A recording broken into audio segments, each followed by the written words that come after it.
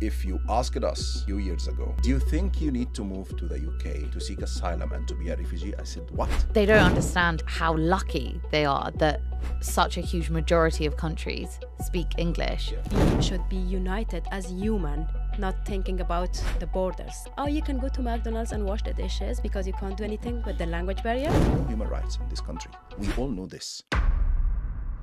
Welcome to the Media Storm studio. We're so thrilled to be joined today by two special guests. Our first guest is a journalist and TV anchor based in London. He has written for The Guardian, Newsweek, Middle East Eye, and The African Argument. He's the editor in chief at Egypt Watch and host of the podcast Untold Stories. He is a refugee, a former dentist, and an advocate for refugees and asylum seekers' rights.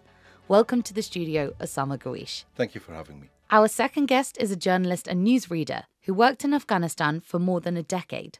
Following the Taliban's rise to power in August 2021, she fled to the UK, where she has volunteered and worked with the Refugee Council, BBC Afghan, and the International Rescue Committee, and more. She's also a former Refugee Week ambassador at IMIX, the charity which offers training, coaching, and mentoring to those with both lived and learnt experience of migration.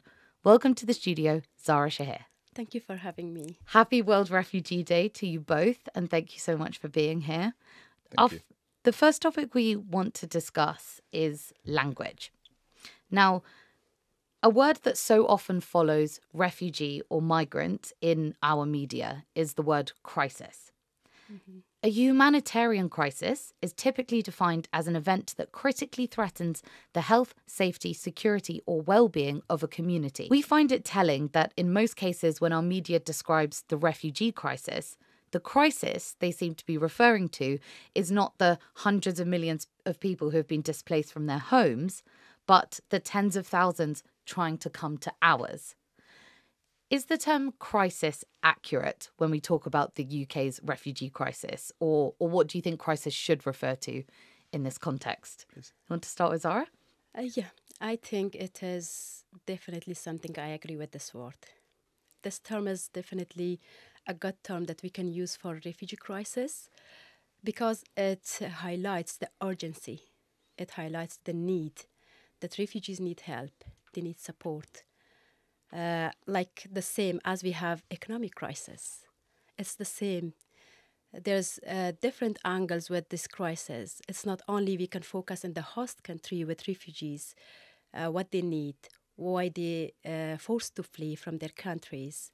Uh, as I mentioned about economic crisis, when there's some problem, all governments think how to find a solution through diplomatic relations with other countries, through uh, finding the problems with climate change and other things. It's the same with the refugee crisis. They need to think why the refugees uh, forced to flee, why uh, what was in their country. It all relates to war and conflict. They must stop the war and conflict in the countries that the people are uh, had to flee and come for safety.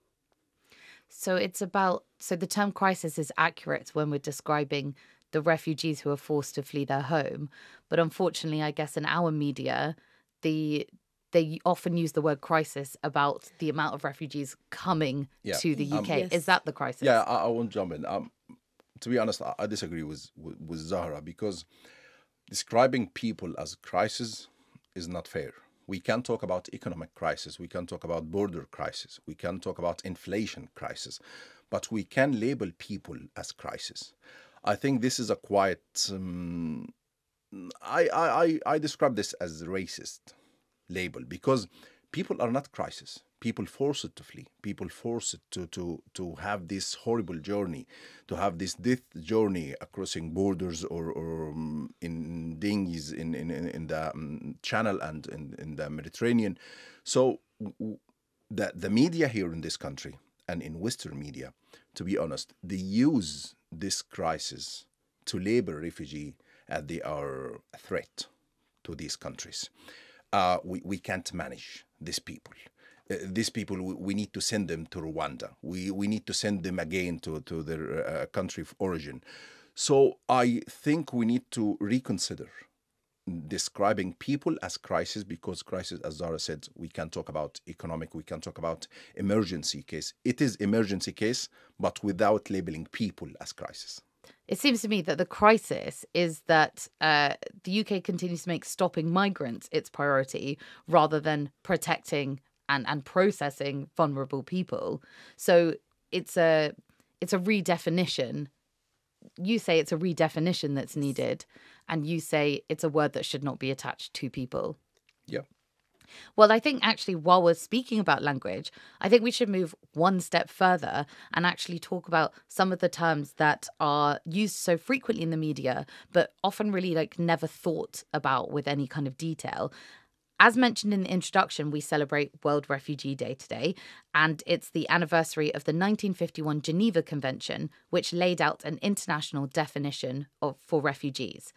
This definition is someone who is unable or unwilling to return to their country of origin owing to a well founded fear of being persecuted for reasons of race, religion, nationality, membership of a particular social group, or political opinion.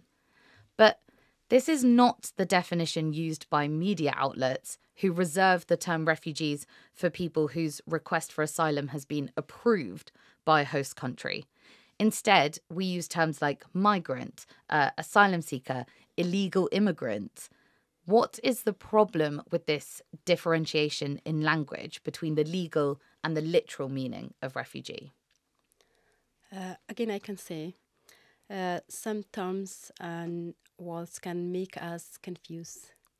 It brings confusion to the audience, to the other people when they hear like different uh, words like migrants, illegal migration. I'm against illegal migration. There is no illegal migration because, as we mentioned, uh, we said that people forced to flee. They, they, are, they don't choose to come for a better life.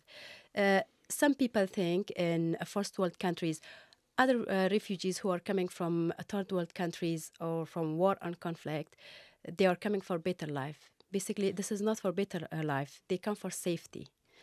Some some people choose to come through safe routes. Some people choose to uh, come through uh, unsafe routes. There's not there's not safe routes for them to come. Uh, so these words, when they, they make confusion, and um, it's in the media job. They should use the proper terms uh, to make it clear for the audience and for the people to understand, and they can imagine themselves as a refugee. Refugees like protection; they need protection. So we, we as a government, we need to protect them. Host countries need to protect them.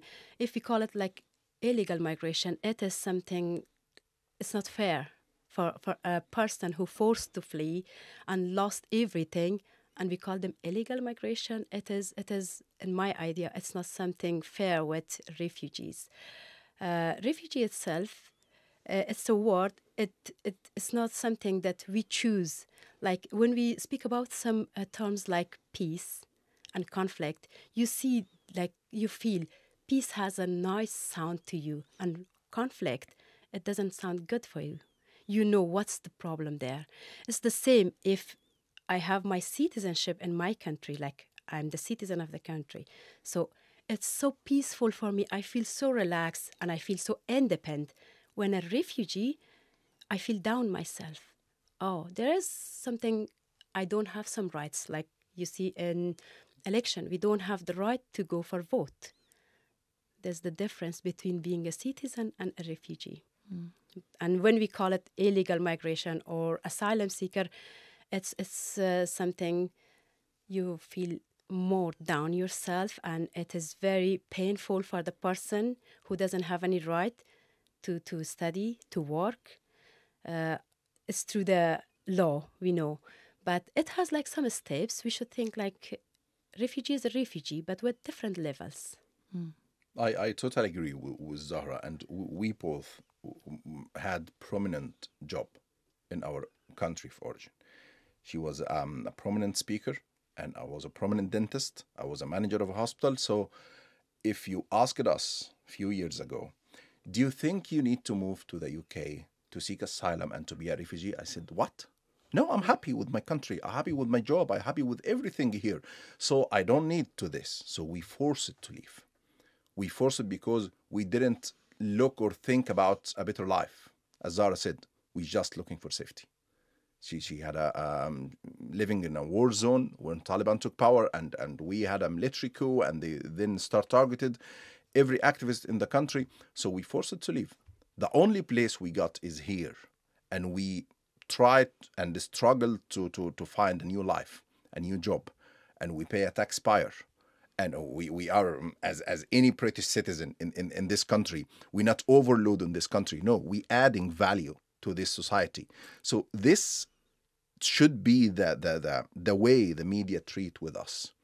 We, we, we are not um, overload in this country. No, we have prominent history, we have prominent job, so we have prominent country, and we wouldn't have to leave our, our, our, our country. This is the first thing. The other thing is quite interesting when um, the Western countries experienced a war in 2022 when Russia invaded Ukraine. I didn't remember any ministry media or any outlet, even with the tabloid or the other, labeled Ukrainian as illegal immigrant mm-hmm. or asylum seeker. No, no, no. Mm-hmm. It's Ukrainian refugee, and this is our commitment in the country, and there is safe routes for Ukrainian. So there is safe route, and we are respecting the white refugee. I think this is another another hypocrisy in, in the ministry media. Why you differentiate between people? This for Middle Eastern, so illegal immigrants, they are overload. We will send them to Rwanda. But this is Ukrainian. Oh, they are my, our brothers, the same ethnicity. They are refugee from Ukraine. Oh, it's, it's ridiculous. Yeah, yeah. And it is, as you mentioned in your first answer, do you think that we're, we as a society are uh, almost scared to call it racism? Do you think we, we call out the fact that it is racism enough? I think it is racism and it's intentionally doing this with with people. The media they, they, they are willing to do this with others. They, they are talking about the covering or of media of refugee stories like victims or criminals. The, the, the, there is no midpoint between both. You are a victim and we we sympathize with you. Oh my god. And that's it. And the other thing you are a criminal. You are illegal. You come from Nabot we will send you to Rwanda so th- there is a midpoint between two. Yeah. He is a human being. She is a human being. Just treat with him like this. Yes. And this brings us, I think, very neatly onto what we want to talk about next, which is this kind of disproportionate dis- distribution of positive refugee stories in our media and negative refugee stories in our media. Now, we did some searching and we did find some positive, but vastly more negative stories about refugees in general. Most of the stories were about the poor conditions that refugees live in, the record number of displaced people, or the number of so called channel migrants. What is the impact of this coverage, this consistent negative coverage about refugees? I think uh, the negative coverage, uh, again, it uh, make confusion. Uh, I think media outlets should uh, outlet should uh, work as a um, bridge, and uh, confidentiality uh, is something that they should think about it. But sometimes media they just only think about their time, how to cover the gap. They never think about someone's personal life and how it affects on their life. There's a lot of negative news about refugees and show the uh, refugees how dangerous they are in the host country. Like nowadays in Germany, there's all news about Afghan refugees. One Afghan refugee killed a police officer, and a lot of Afghan refugees uh, deported back in Afghanistan in this situation. Because what happened, they uh, never thought about the other angles of the accident, or how it happened was there any other angle and problem with the police officer? Is there any other story behind why that man? I'm not going to support that Afghan man. He's a criminal. But uh, when a refugee is coming in a country and we only focus on negative points, it can make it worse. And uh, it uh, changes the policies. The governments change their policies against refugees and they become stricter to, to make strict the law against refugees. Uh, In the UK, there's a lot of cover- negative coverage about refugees. Like uh, I had done a lot of advocacy for refugee rights in the UK. The Manston camp, you see, and children unaccompanied, they are here, but they never think about them. They never think even a child under 18 is here alone uh, himself. He needs his family. They never think about the family reunion. They only think how to cover negative about refugees. Why a mother sent his child alone? He was at risk. A mother never want to send his child away from herself. But when she has to, she forced to save her children, she needs to do that. They never think about positive. Why a mother do that? But they only think she's a careless mom. So she she sent her uh, son for a better life, as I mentioned before. They never do that. They want their children to have a safe life, to do edu- uh, their education, and to rebuild their life.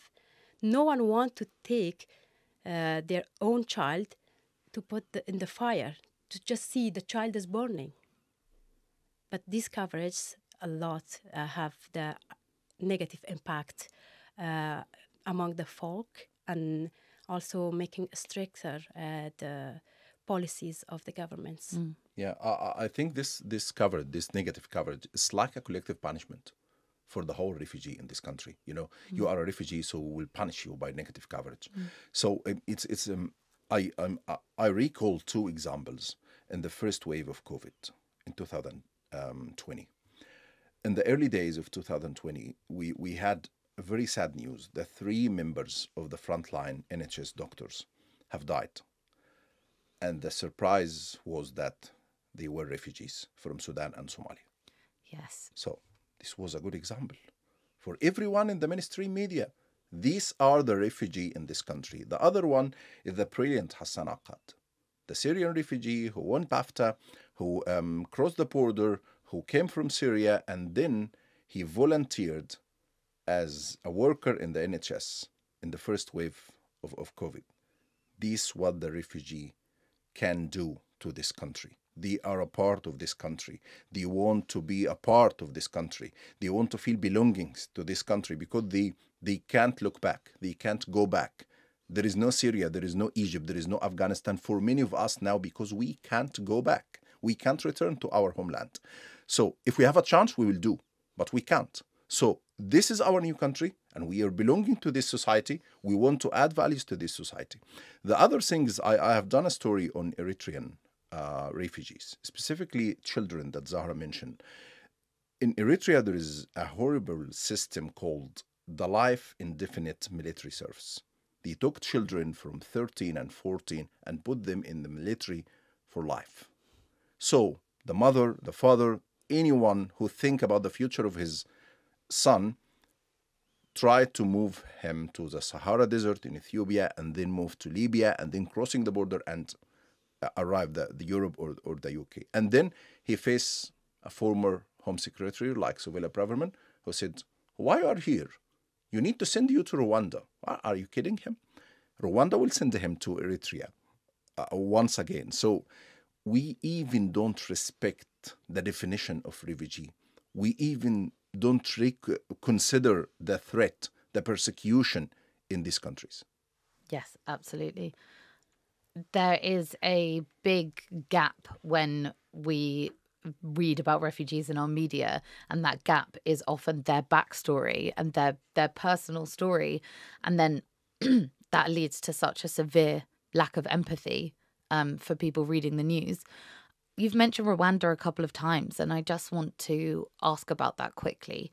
Um, when the government's Rwanda deportation scheme was announced, there was outrage about how callous and and dangerous the whole idea to send refugees to another country and an unsafe potentially unsafe country was um i want to know that first of all were you surprised when the uh, government created the rwanda deportation scheme did it did it surprise or shock you in any way both surprised and shocked me because I came from this uh, continent. I came from Africa. I know well Kagame presidents. He's like Egyptian presidents. He's like Libyan late presidents Gaddafi, and he like every single one in the Middle East. They are authoritarian leaders. And we all know what authoritarian leaders do to its people, to their people persecution, uh, injustice, and every single topic the media here advocate against, and we need to respect the human rights. There is no human rights in this country. We all know this. And there is a plenty of reports um, warns the government here not to send refugee again to Rwanda because there is a lot of um, a lot of reports consider Kagame authoritarian, and there is a human rights uh, um, uh, issues in, in this country. But the government here is proud to do this, and this is something even against the British values. You are teaching our children in this country's school, of British values, that we are with the human rights and with the freedom of expression and freedom. There is no human rights and freedom of expression. And there is a threat, a real threat about anyone who go to Rwanda again, forcibly uh, disappeared and persecuted. But the government, I, I don't know, I don't know why they choose a country like Rwanda or any African country. I respect all African countries, but we, we, we have a lot of things to reform in these countries regarding human rights. Were you surprised to to hear about the scheme, or did you think it's in line with how this government has acted towards refugees? Um, I, I was like shocked. I can say it was very shocking to me when uh, and I hear, uh, I remember that when I arrived in the UK, I was new in this country, and they said they are going to send refugees in Rwanda, and I was thinking, okay, I was a journalist, I had good job, everything, and if I go to if they send me in Rwanda with my two children, is there any uh, like kind of good facilities for my children to learn? Is I do uh, I can find the opportunity to work in Rwanda? Is there any uh, rights as a refugee that I have in the UK? And the problem is, uh, as you mentioned, I don't know why they choose another third world country to, to send the refugees. Refugees come for safety. I think Rwanda is not that safe for refugees to go there and to rebuild their life. It is the planners wasting the people's life, uh, wasting their time. They want to just play around to waste their time and show them how uh, your time is not valuable for us because you come as a refugee in this country, you don't have the rights uh, in this country, and we don't value your time. We don't value your life, and everyone has a goal in their life. They want to do something. As a human, we need to be alive we don't need to be starving. But they, they never think about this stuff. They just only think about policies.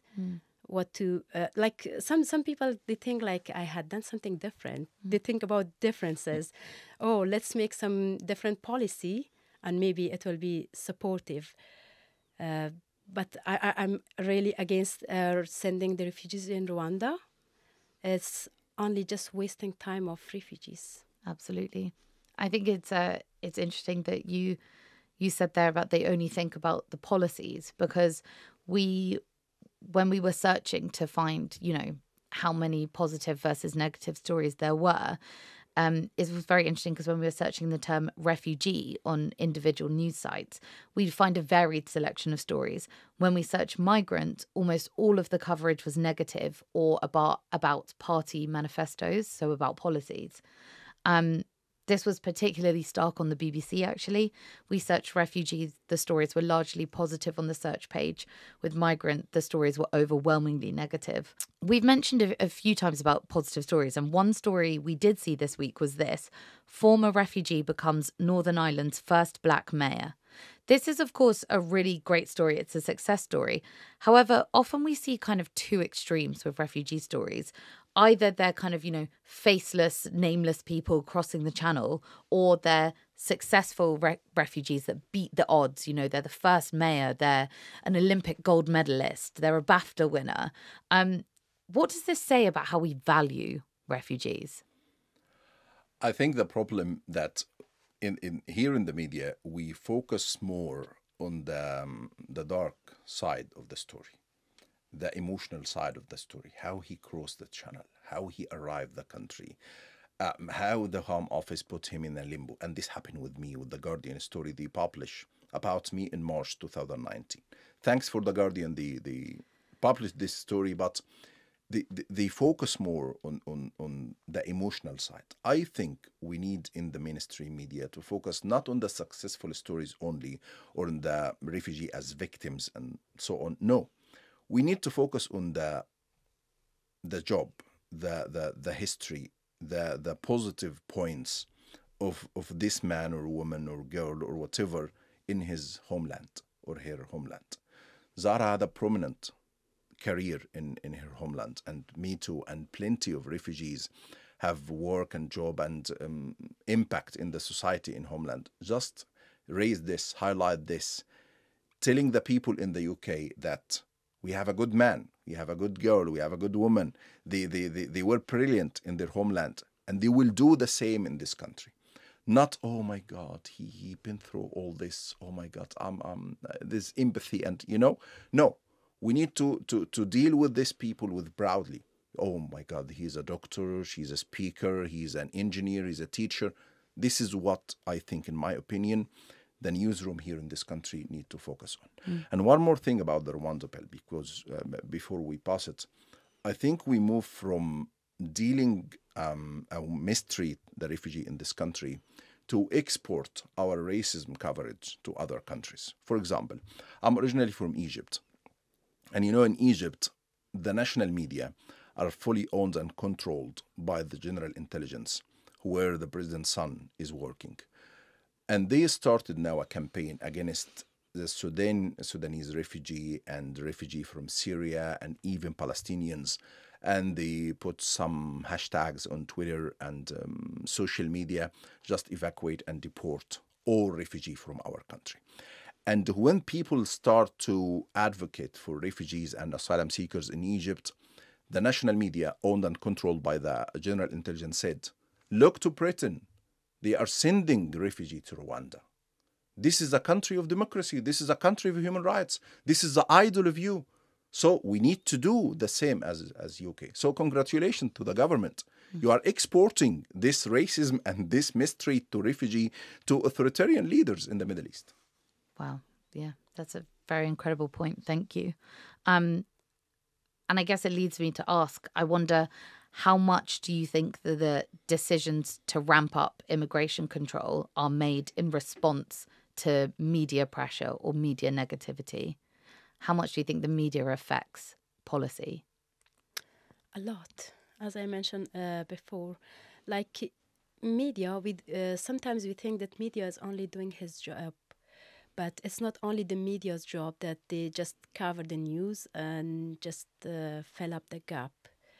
It has a lot of impact from people, from governments, the policies, everything. Whatever we say today, when people hear uh, these words, they keep in mind and they think about it. It's the same with policymakers. When they, they listen to the news, they see the impacts and they make their decision. Uh, why they don't change about uh, refugees as I agree with you, Osama. You said we had like good jobs, we come as a refugee. Sometimes refugees can be change makers in other countries in the host country why they don't think like positive about it they only think about like some some uh, people think in the uk uh, refugees are coming here taking our jobs Yeah. it's only thing even when i see anyone or i speak with them they think oh they come and they took our job and uh, they don't think about other uh, mm, uh, points that they, when they come they take the jobs. Uh, they, they also do work hard. They bring changes in this country. They pay tax everything. So they are also working as a human as a citizen uh, citizen of this country. Um, but uh, as I as I mentioned, like about the problem what happened in Germany, it's the same in the UK. There was uh, news about uh, Afghan refugees and Syrian refugees in the UK, and uh, what the government did, they promised like uh, they will uh, bring a lot of Afghans, especially vulnerable Afghans like women rights activists, journalists, uh, women who work as a judge in Afghanistan. They're at risk. There's a lot of people at risk, but they stopped the process because they thought there's a lot of Afghans. Millions of uh, pounds has been spent in hotels for Afghan refugees. So why we should spend all the money for those Afghan refugees? They can stay uh, in their country and they don't uh, have any problem there. But they don't know how a woman with her children is uh, escaping from one house to other house, from one uh, province to other province, just to save her life and her children's life. Uh, this is the media uh, uh, outlet that it can affect the policies, and they, they, they just only think about uh, to change the policy and to do not think about humanity. Mm. Yeah. And I, I think here there, there is a good statement I, I've learned the first week I, I arrived to the country. A refugee is not your enemy. Your enemy is the regime that make this refugee mm-hmm. or made this refugee. So the mainstream media here need to understand this. Refugee is not a problem in this country. Refugee didn't cause the price soar. Refugee didn't cause the inflation to increase. Refugee didn't make the NHS salary low. Refugee didn't um, force Britain to leave the, the, the European Union or cause the Brexit.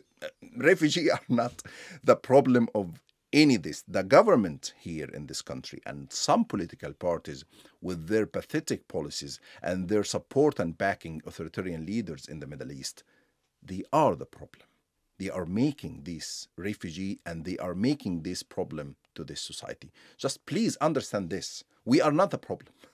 Yes, yes, I agree. Because what happened in Afghanistan, for example, it was, I always say, the controller of the game was in United States' hand.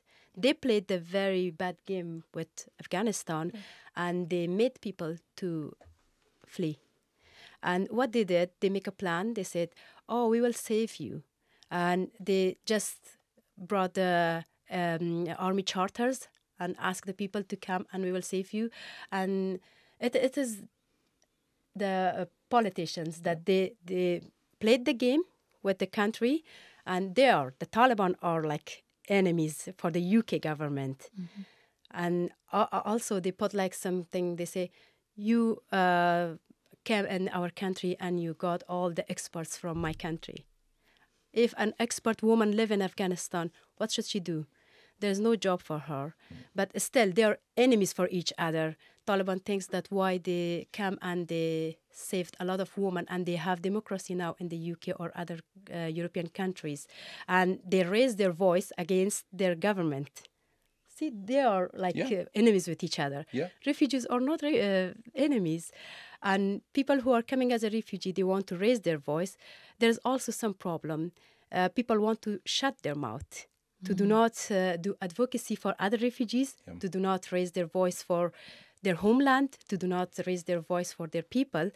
We are all human. I have the right to raise my voice for those poor girls who are still in Afghanistan. They don't have their fundamental right to go for education and work.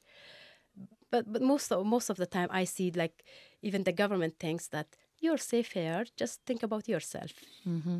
Yeah. yeah. And and you know, for example, in Egypt, we we have a military coup in 2013. We have more than 100,000 political prisoners in jails. We have more than 300 news outlets even banned or shut down by, by the, the regime. A lot of human rights um, reports from Amnesty International, Human Rights Watch, even the uh, the Ministry of Foreign Affairs in the United States, they publish reports about how bad the human rights situation in Egypt. Okay, what the government here is doing with Egypt since 2013, they are supporting the, the uh, authoritarian leader Sisi with arms sales. They are welcoming him here in the country in 10, town, uh, 10 Downing Streets, and they are turning a blind eye of all these human rights abuses. So when Egyptians flee the country and arrive to the UK, oh, they're asking why we have Egyptian refugees in this country because of your of your government policies. Yeah. Yeah. Yeah definitely. Thank you both so much. Um, so incredibly uh, interesting and and necessary for people to to hear these, to hear your stories, and I think um, it does lead us on to talk a little bit more about the fact that solutions focused positive reporting does exist, largely in part to refugees who are journalists, who are working so hard to tell the true story. We have found an increase in solutions focused positive reporting recently, likely because it is Refugee Week. Um, in the BBC this week, Refugee Week aims to bring communities together. Council calls for volunteers to help refugees. Cathedral given new status for supporting refugees.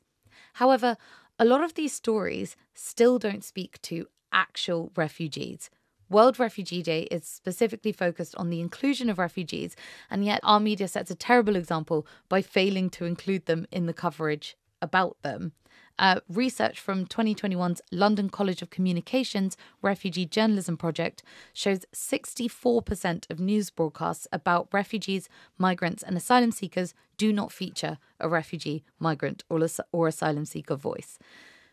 You are both journalists. Um, to start, uh, Osama, could you tell us about the importance of hiring refugees as journalists? Yeah, I'm just I, I, I need to highlight the importance of the refugee journalism project. This incredible initiative, I, I owe this initiative.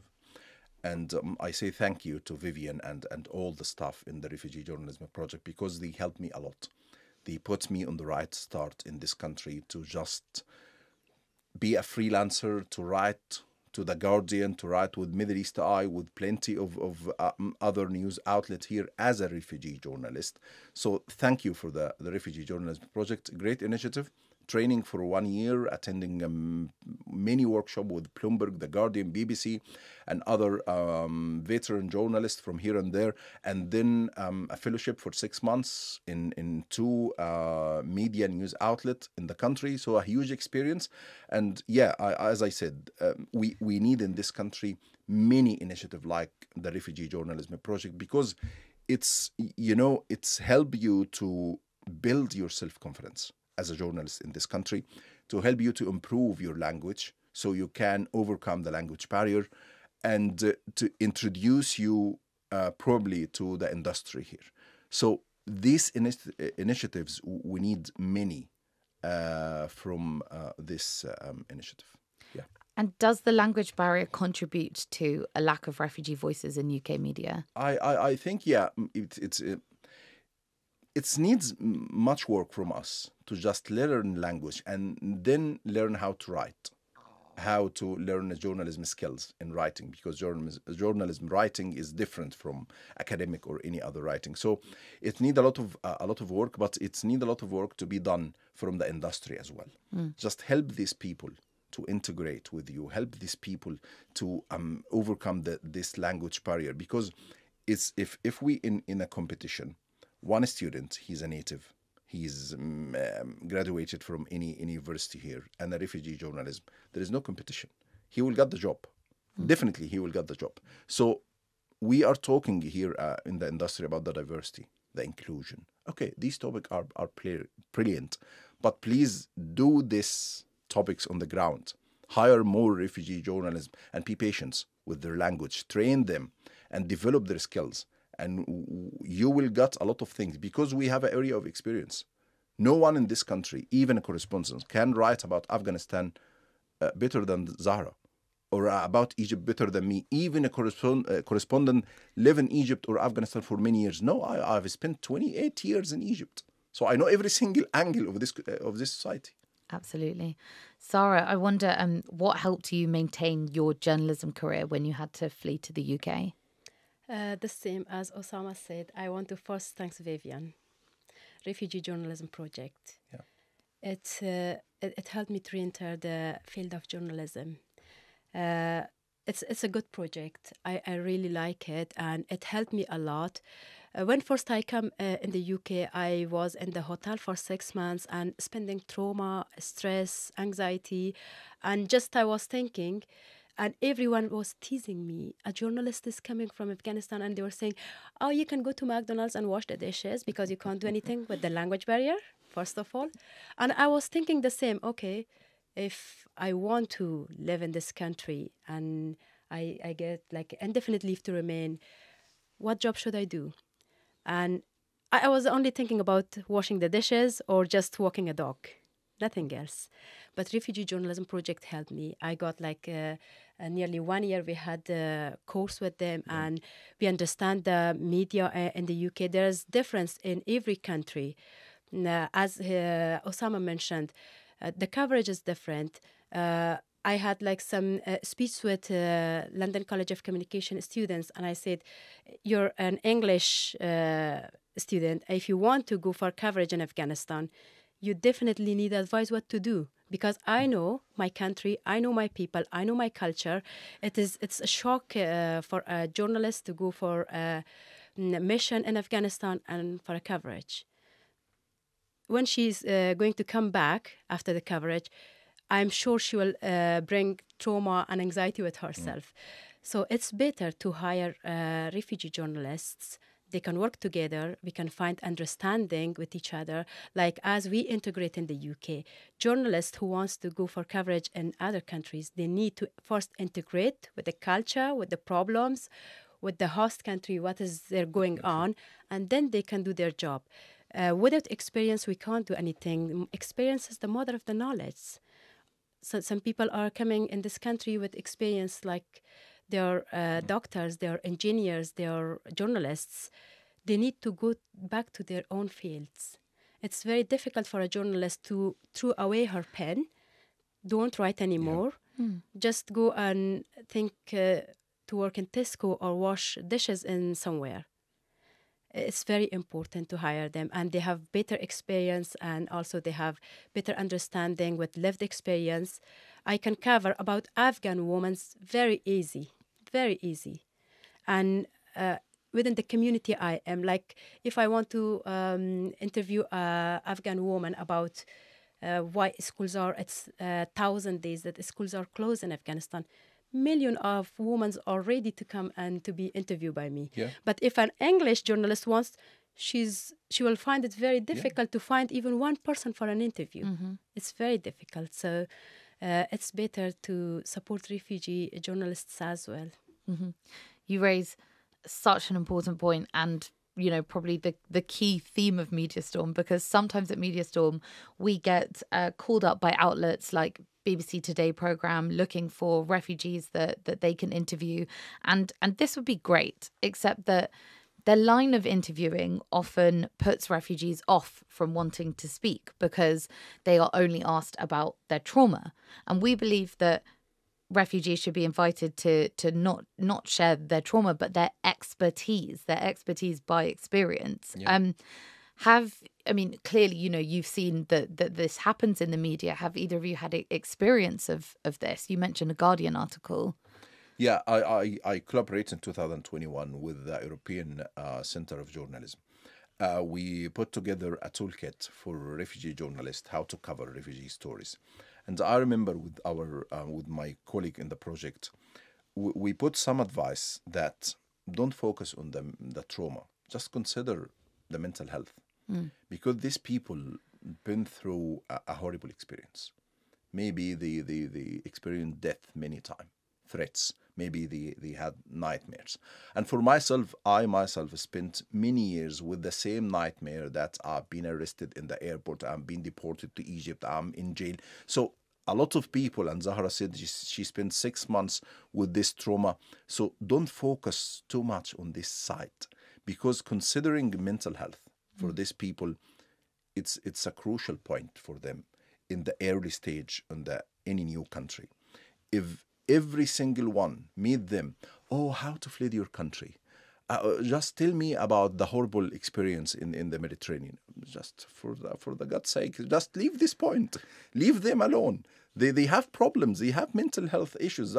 Respect this. So I, I think it's a fatal mistake for any journalist to go deeply with this point. What happened and what happened? Okay, it's important to know the circumstances that forced him to leave, but the fine details about the, the, the, the death threats and all these bad things, I think it's it's better to just leave it if the, the, the refugee want to, to tell you this story, okay, he he just okay with this, just respect his willing and, and go ahead.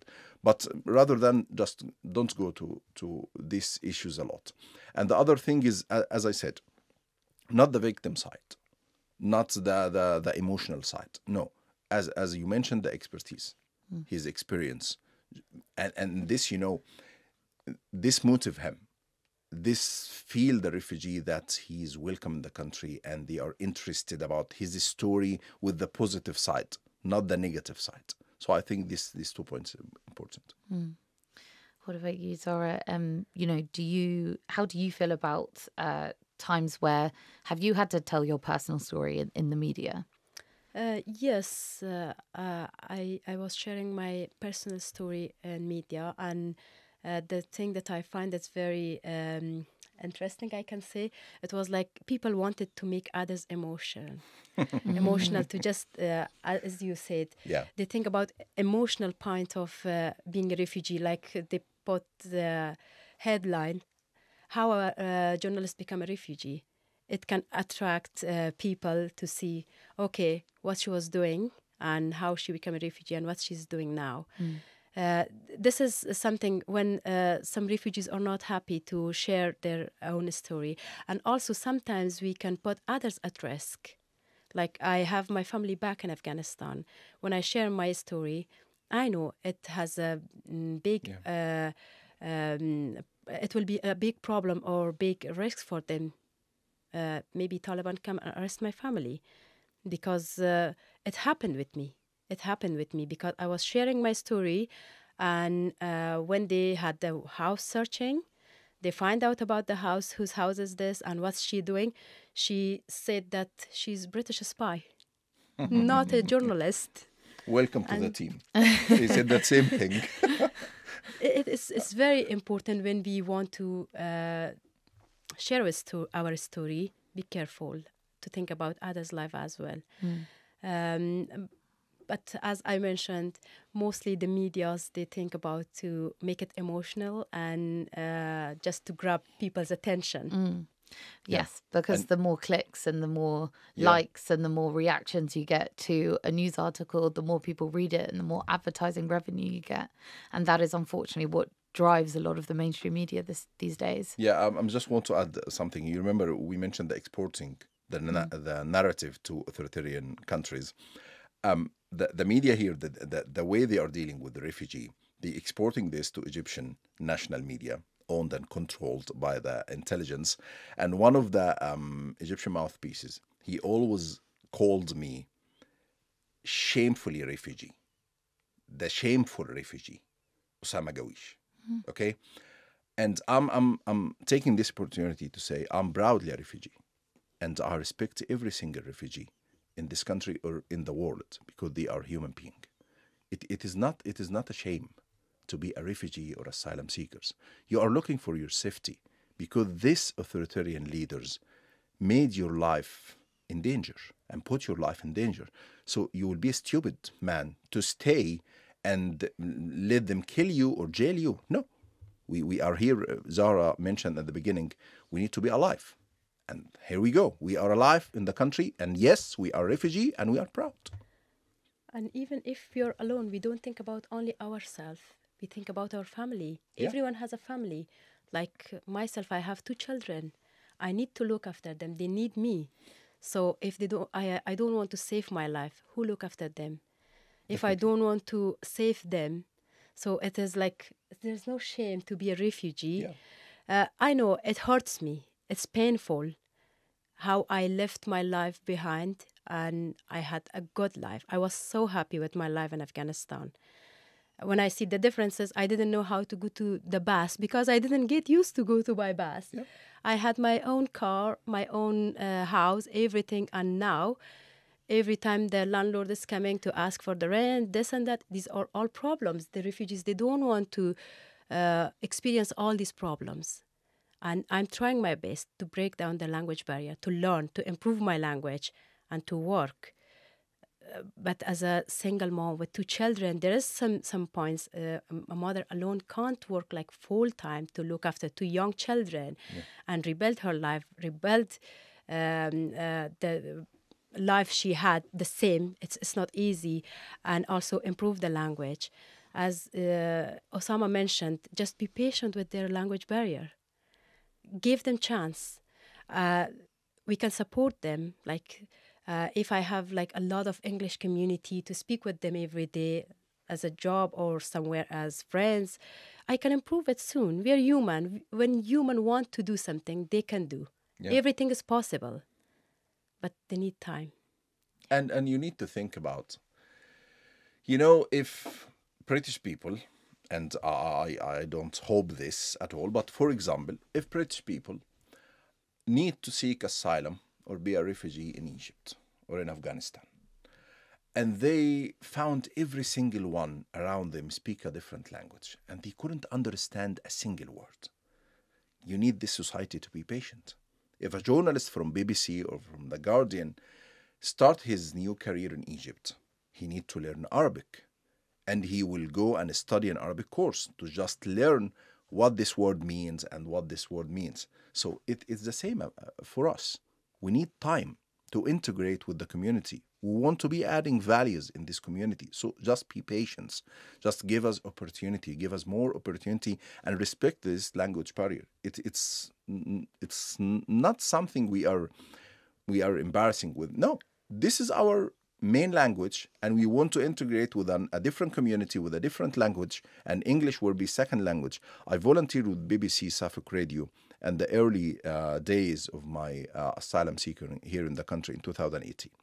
And the first lesson, John, the anchor in BBC uh, Suffolk Radio, teaching me that don't think about the British accent, don't think about the fluency, just express yourself and understand what we are saying, and welcome to the British industry uh, in the media. So this is exactly what the industry need to offer the refugees. definitely and we i mean you know i think there's a lot about when i go to different countries and i feel like british people there is they don't understand how how lucky they are that such a huge majority of countries speak english Yeah. to some degree you know and we can go to any country probably in Europe and get by without having to put in any effort because somebody there will speak English to some degree. Um and I think yeah, we should all have a serious think about how how lucky we are and how difficult it is um to to come over. Um thank you both so much. I've really, really enjoyed this conversation. Before we wrap up, is there anything that you came to say that you feel like you didn't get to say? Is there anything else you want to say? Thank you for having us. Uh, yes, I always have my last wishes. Or whoever uh, is listening to us, I always ask them, please don't forget countries like Afghanistan, like Iran, like uh, Syria, other countries, they are in war and conflict. I know in Afghanistan, some people might say, you have a government, there's no war. But don't forget them. They need your support. We should be united as human, not thinking about the borders. Borders are only made just to make sure that there's different countries with different languages, but human are all the same. If tomorrow you think that um, Prime Minister say for one week schools are banned for girls, do you think it will be acceptable for a United uh, uh, Kingdom? Do you think it will be uh, acceptable for the European Union? Tomorrow the Prime Minister won't be in his place. It is the same in Afghanistan. Why we shouldn't think about Afghan girls? They are not allowed to go to school. Just please be united for those girls, and we need to campaign for them. We need to find ways for them to help them. All girls are starving, not for food, for education in Afghanistan. It's the same in Iran, and you see it's increasing day by day. It's like a virus, like COVID went from one country to other country. It's increasing. It's going from one country to other country. Uh, in Iran, and tomorrow you'll see it will be in another countries, and I, I'm sure it will affect other countries like United Kingdom as well, because everything has a, a mm, positive and negative point. Uh, the negatives always uh, spread everywhere. The positive is the same. So we shouldn't let uh, governments like uh, Taliban and other governments to spread their virus all around the world. Thank you. Yeah, and my, my final message, and it, it is not political at all. Firstly, thank you for having me. But for everyone listening to this conversation, please think about people in Gaza, in Palestine. There are now 1.7 million Palestinian people forcibly displaced from their houses, and they're stuck in Rafah, in a very tiny area. And they are possible refugees. And they can make their way to UK or European countries. And I, I don't hope this happen. I hope this ongoing genocide and war is stopped immediately. So please, in July 4th, vote for any candidate, stand for humanity. Vote for any candidate, calls for immediate ceasefire. Vote for any candidate, whatever the, the political party is, it doesn't matter. Just what does matter is he's supporting refugees, he's supporting human being, he calls for ceasefire. Thank you. Thank you so much. Where can people follow you and do you have anything to plug? Because I'm not only a journalist, I'm a woman rights activist as well. I'm uh, doing a lot of advocacy for refugees uh, in the UK and around the world, and for Afghan girls and women, not only Afghan women and girls all around the world. As you said about uh, uh Palestine, what's happening. So they can they can just search my name on Google and they can find me. Yeah, um, um, they can find me on Twitter, Osama Gaweesh, and on TikTok as well, Osama Gaweesh 2, because the one has been deleted. and uh, on uh, YouTube, I have a YouTube channel in Arabic and in English as well. Perfect. Thank, Thank you both so much. Thank you very Thank much. You. Thank you.